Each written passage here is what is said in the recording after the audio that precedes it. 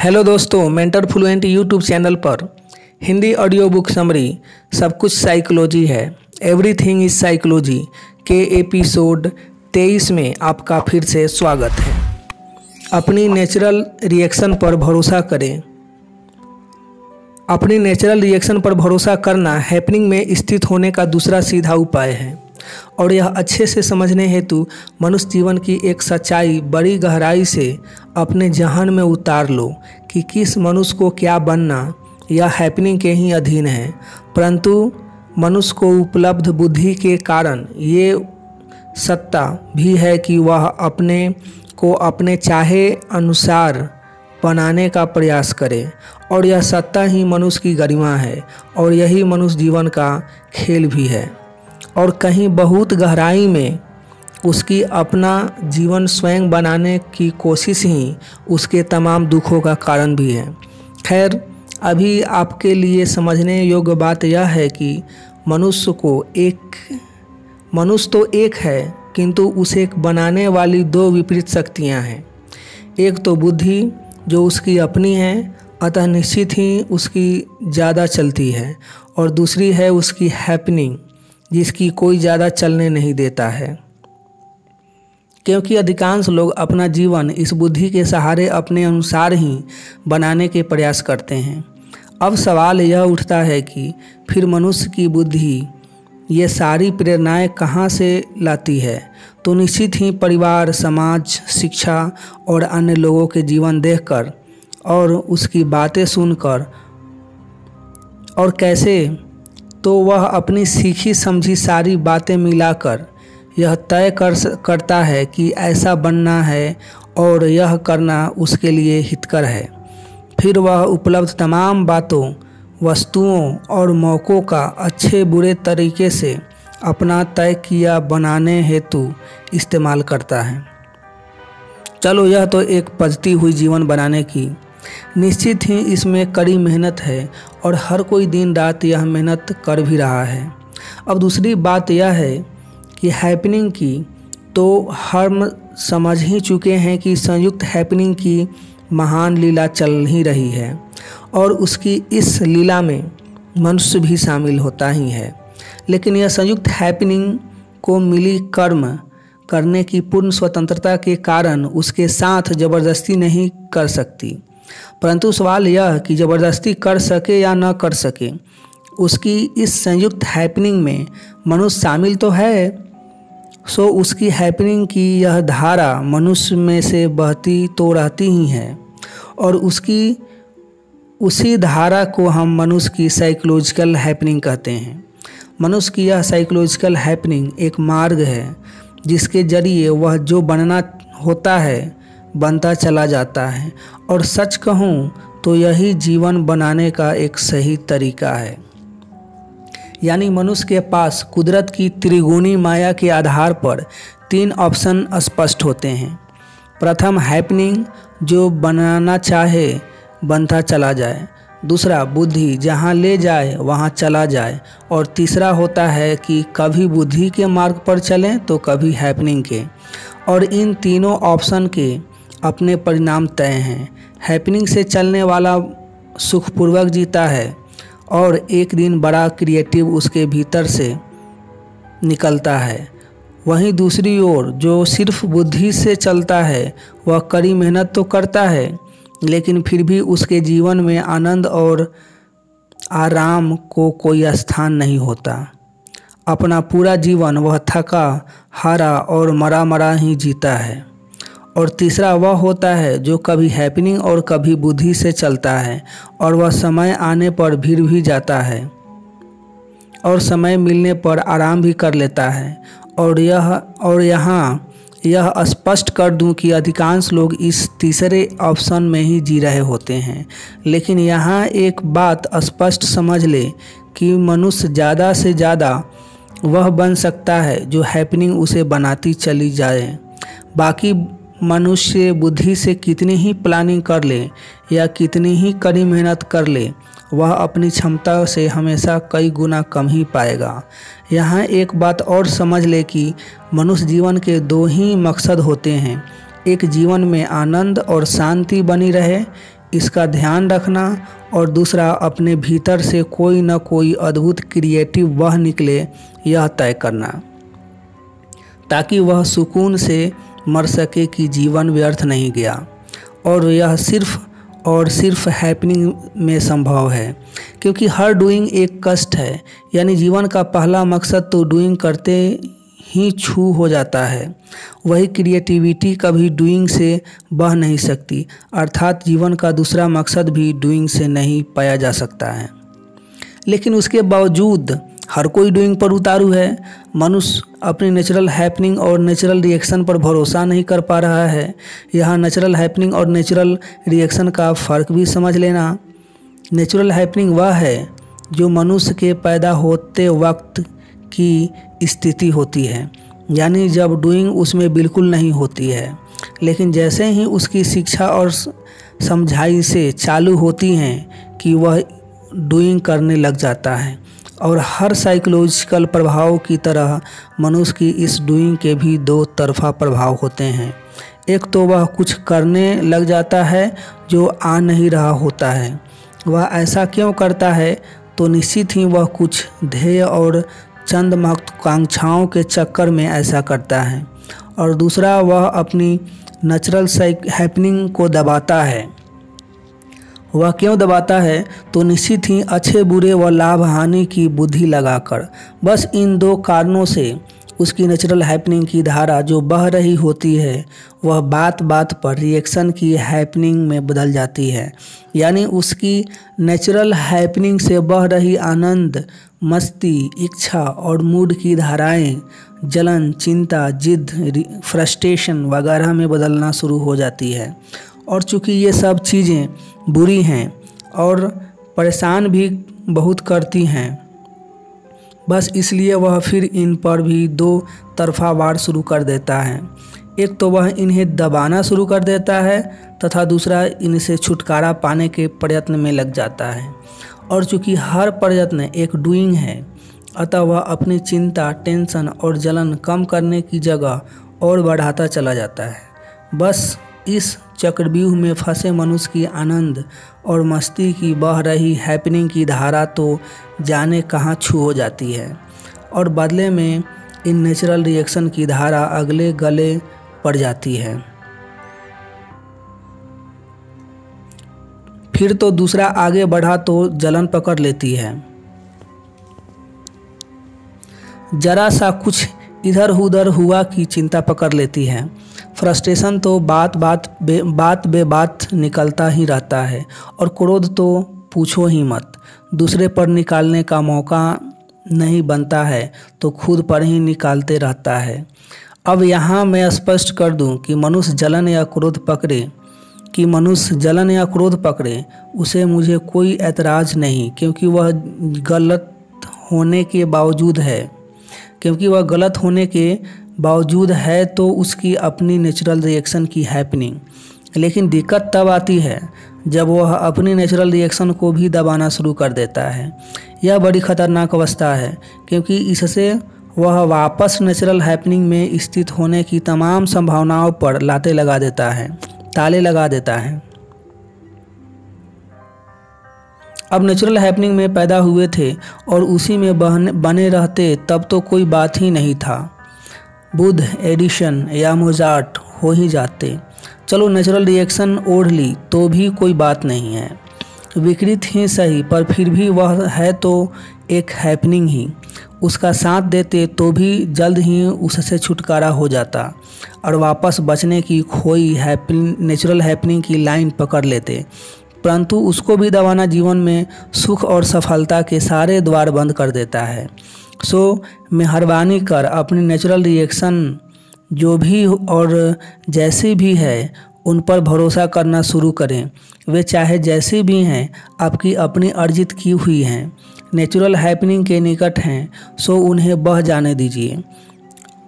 अब यह तो आप स्पष्ट रूप से समझ गए होंगे कि अपनी नेचुरल रिएक्शन पर भरोसा करना हैपनिंग में स्थित होने का एकदम सरल उपाय है।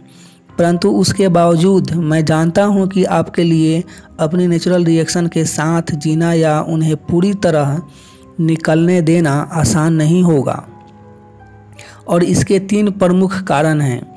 एक तो आपको अपनी यह नेचुरल रिएक्शन पर अक्सर घाटा करवाने वाली मालूम पड़ती है।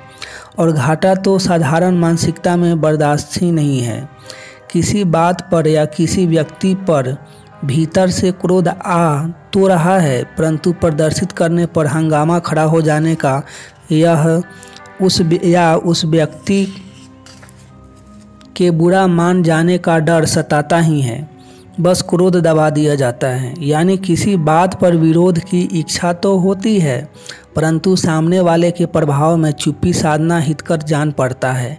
यही बात सत्य कहने से लेकर हक की बात करने तक सब पर लागू होती है। बात बात पर तरह तरह की नेचुरल रिएक्शन आती तो है, परंतु वे फ़ायदा कारक न जान पड़ने के कारण दबा दी जाती है। दूसरी बात कहूँ तो कई भावों और बातों को आप और आपका समाज पूरा मानता है, बुरा मानता है। जिसे जैसे क्रोध करना, जलन पकड़ना, किसी का बुरा सोचना, किसी के अहित का ख्याल आना, वगैरह वगैरह। अब समाज के बुरा मानने से आपको ऐसे भाव आना बंद तो नहीं हो जाते, परंतु उन्हें बन, बनती कोशिश आप प्रकट करने से कतराते हैं, क्योंकि इससे आपको अपने कैरेक्टर और इमेज दोनों पर खतरा नज़र आता है। इसी का परिणाम है कि भीतर चाहे जो हो, परंतु बाहर हर कोई धर्म और समाज के दायरे में ही बरत रहा होता है। और फिर आती है तीसरी कारण, से नेचुरल रिएक्शन दबाने की बात। तो यह प्री कंडीशनिंग के कारण होता है। बच्चा कुछ बड़ा होते ही अपने जीवन के चंद ध्येय बना लेता है। कुछ महत्वाकांक्षाएँ ओढ़ लेता है। कई मान्यताओं और सिद्धांतों को अपना लेता है। लेकिन यह सारी कंडीशनिंग उसकी बुद्धि की होती है। इसका उसकी नेचुरल हैपनिंग से कोई संबंध नहीं बन पाता है। वहाँ से तो मूड और इच्छाएँ अपने हिसाब से आती जाती ही रहती हैं। लेकिन अक्सर वे उसे अपने जीवन के ध्येय में बाधक नज़र आती हैं। बस वह उन्हें भी दबाता चला जाता है। अब नेचुरल रिएक्शन दबाने के तीन कारण तो स्पष्ट हो गए, परंतु सवाल यह कि क्या किसी भी कारण से नेचुरल रिएक्शन दबाना ज़रूरी है? नहीं। यह बिल्कुल गलत है, क्योंकि हर कोई अपनी नेचुरल रिएक्शन दबाकर जी रहा है, इसलिए दुख और असफलता का हर कोई शिकार है। यह तो एक सीधा कारण हुआ, जो यह स्पष्ट करता है कि नेचुरल रिएक्शन दबाने के दुष्परिणाम मनुष्य भोग रहा है। अब थोड़ा कुछ और बातों पर गौर करें। पहली बात तो यह कि जब इस पूरी प्रकृति में कुछ भी अकारण नहीं है तो फिर आपकी नेचुरल रिएक्शन अकारण क्यों आने लगी? और सच तो यह है कि वे अकारण हैं भी नहीं। वह एक ऐसा मार्ग है जो आपको वापस अपने बचपन की नेचुरल साइकोलॉजी में स्थित कर सकता है। और एक बार आपने अपने बचपन की नेचुरल साइकोलॉजी वापस पा ली तो आप इस प्रकृति की संयुक्त हैपनिंग के हिस्से हो गए। तथा एक बार आप प्रकृति की इस संयुक्त हैपनिंग के हिस्से हो गए तो फिर आपके जीवन को सुखी और सफल बनाने की ज़िम्मेदारी उस प्रकृति की हैपनिंग की हो गई, जिसे चाँद, तारे और पृथ्वी तक चलायमान है। भला इसके लिए आपके भीतर से क्रिएटिविटी को बहाना क्या मुश्किल? और प्रकृति पर ऐसा भरोसा को ही मैं ईश्वर पर भरोसा करना मानता हूँ। बाकी तो संसार के सारे बुद्धिमान ईश्वर की सत्ता पर भरोसा जता ही रहे होते हैं। खैर होगा खैर होगा, अभी तो यह समझने की आपकी नेचुरल रिएक्शन अभी तो यह समझे कि आपकी नेचुरल रिएक्शन एक मार्ग है जो आपको अपने बचपन की नेचुरल साइकोलॉजी में वापस ले जाती है। और जब मार्ग है तो उसमें कुछ मिलेगा और कुछ खोएगा। जो जो वस्तुएँ, व्यक्ति या विचार आपको अपनी बचपन की साइकोलॉजी में स्थित होने में सहायक होंगे, वे वे आपको अपनी इन नेचुरल रिएक्शन से मिलते चले जाएँगे और स्वाभाविक रूप से जो जो बाधक हैं, वे बिछड़ते चले जाएँगे। अब इसे अच्छा क्या हो सकता है? अब इससे अच्छा और क्या हो सकता है? यह मैंने बड़ी ही महत्वपूर्ण बात कही है। समझ में नहीं आई तो दो बार और पढ़ लेना। पर यह एक बात समझ अवश्य लेना, आपका तक्षण अपनी नेचुरल रिएक्शन पर भरोसा बैठ जाएगा। हो सके तो इस बात को अपने पुराने अनुभवों के तराजू में भी तौल लेना। आपको कई उदाहरण मिल जाएँगे। कि आपको किसी पर क्रोध आया और निकाल दिया। तो परिणाम में उससे रिश्ते टूट गए। पीछे से मालूम पड़ा कि आप बच गए। वरना वह तो आपको धोखा देने हेतु ही आपसे रिश्ते मज़बूत कर रहा था। अतः अपनी नेचुरल रिएक्शन पर भरोसा करना बनता है। होगा। इस बात को विस्तार से समझने हेतु जरा प्रकृति पर नज़र घुमाओ। प्रकृति की हर वस्तु कितनी प्रगाढ़, कितनी प्रगाढ़ता से रिएक्ट करती है। आप ही की तरह प्रकृति के हर पदार्थ की भी नेचुरल के साथ साथ नेचर के साथ साथ कम्बिनेशन साइकोलॉजी होती है। लेकिन इससे डरकर वे आपकी तरह उन्हें दबाने की डूइंग पर थोड़े ही उत्तर आती हैं। थोड़ा गौर करो कि कितनी पूर्णता से प्रकृति की हर वस्तु नेचुरल रिएक्शन पर कट करती है। जब बादल बरसते हैं तो सिर्फ़ बरसते हैं। और यही कारण है कि जब पूरा बरस लेते हैं तो सूर्य फिर बाहर निकल आता है। लेकिन आप क्या करते हैं? क्रोध के बादल आपके भीतर मडरा तो रहे होते हैं, पर आप उन्हें एक या दूसरे कारण से पूरा बरसने नहीं देते। सोचो या कि जब तक वे पूरा बरसेंगे नहीं, हटेंगे कैसे? कोई आपकी रिएक्शनों की पद्धति, प्रकृति के रिएक्शनों की पद्धति से अलग थोड़े ही है। कितनी बार कह चुका हूँ कि आप भी प्रकृति का ही एक हिस्सा हैं, इसलिए आपकी हर चीज़ प्रकृति होनी चाहिए। और खुद देख लीजिए क्योंकि आप अपने पर छाए क्रोध रूपी बादल को पूरी तरह नहीं बरसने देते, इसलिए वे जीवन भर टुकड़े टुकड़े में बरसते रहते हैं। शांति रूपी सूर्य कभी अपने जीवन में अपनी पूर्णता से निकलता ही नहीं है और फिर प्रकृति में बादलों का गरजना कोई बुरा थोड़े ही माना जा रहा है। फिर आप को अपने क्रोध को बुरा क्यों मान रहे हैं? जब और जितना आए पूरा का पूरा बरस जाने दो। देखो पूरा क्रोध बरसते ही आप किस कदर शांत हो जाते हैं। और फिर आप क्रोध बरसाते किस पर हैं? अधिकांश समय उन्हीं पर जो आपके निकट हैं और यह प्रकृति भी है। और यह प्राकृतिक भी है। बादल पानी से ही बनते हैं और क्रोध में पानी ही बरसाते हैं। पत्थरों से उनका लेना देना नहीं, सो पत्थर वे बरसाते नहीं। वैसे ही आप भी क्रोध उन्हीं पर करते हैं, जिनसे आपका लेना देना है। यही कारण है कि जिन पर आप खुलकर क्रोध बरसाते हैं, उन्हीं से प्यार भी कर पाते हैं। जिन पर आप खुलकर क्रोध नहीं बरसा बरसा पाते उनसे आपका कोई कभी प्यार भी नहीं हो पाता। ये सारे अनुभव आपको हैं, फिर भी आप खुलकर क्रोध करने से कतराते हैं। और सच कहूँ तो इसी कारण आप खुलकर कभी प्यार भी नहीं कर पाते हैं।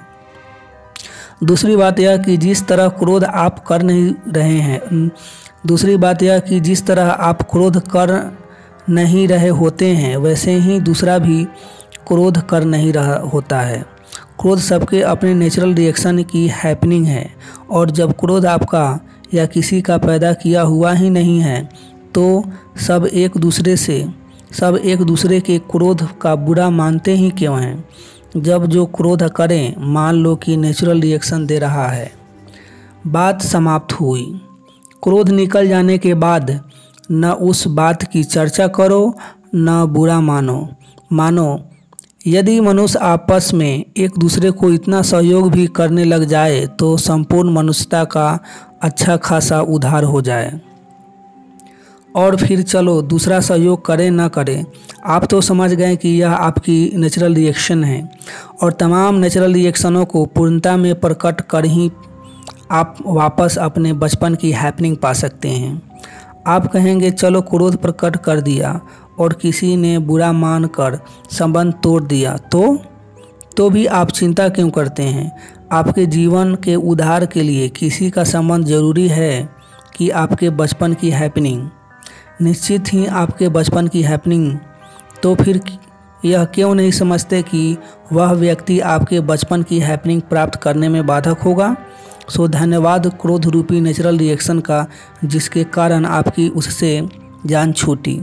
यानी एक नहीं, हज़ार कारणों से आपको अपने नेचुरल रिएक्शनों पर भरोसा कर उन्हें पूर्णता से निकालना ही पड़ेगा।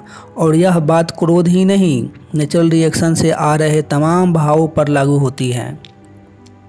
अतः उम्मीद है कि आप अपने बचपन की हैपनिंग वापस पाने हेतु इतना तो कर ही लेंगे।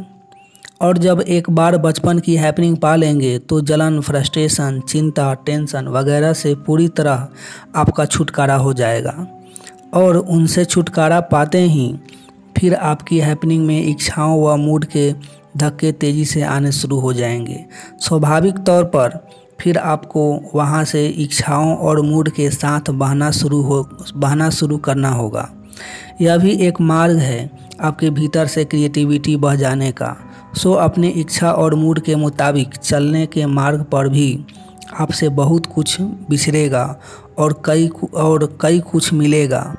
और निसंदेह उस समय भी आपको मिलने बिछड़ने के इस खेल में अपनी हैपनिंग पर पूरा भरोसा करना होगा। बस इन दो मार्गों पर सफलतापूर्वक चल लेने से आपके भीतर में आपके भीतर से महान क्रिएटिविटी बह जाएगी। जो एक मनुष्य होने के नाते आपके जीवन का मकसद होना चाहिए।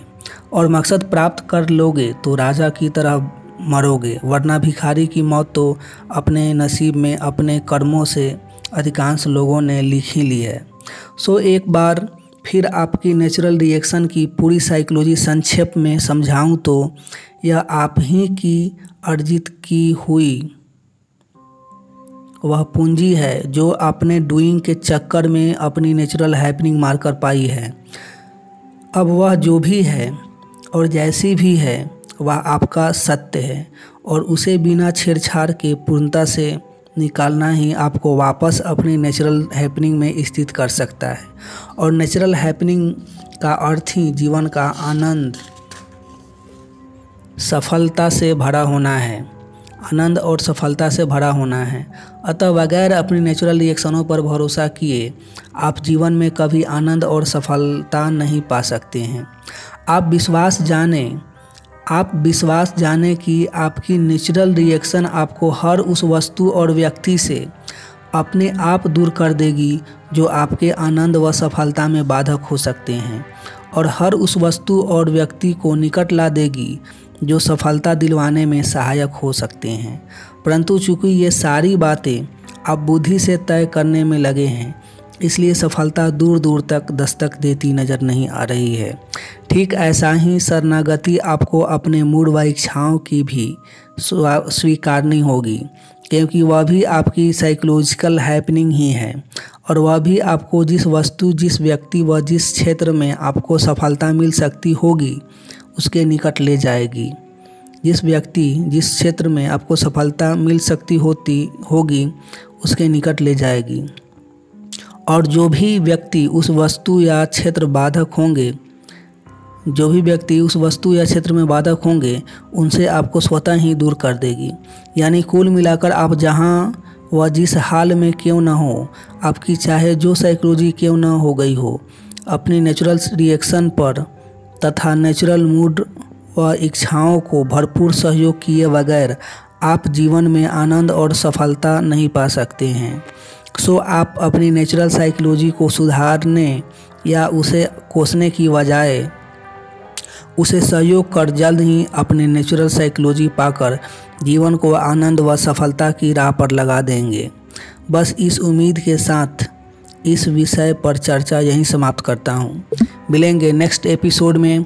तब तक अपना ढेर सारा ख्याल रखें लाइफ को खूब इंजॉय करें, खूब मस्ती से जिएँ।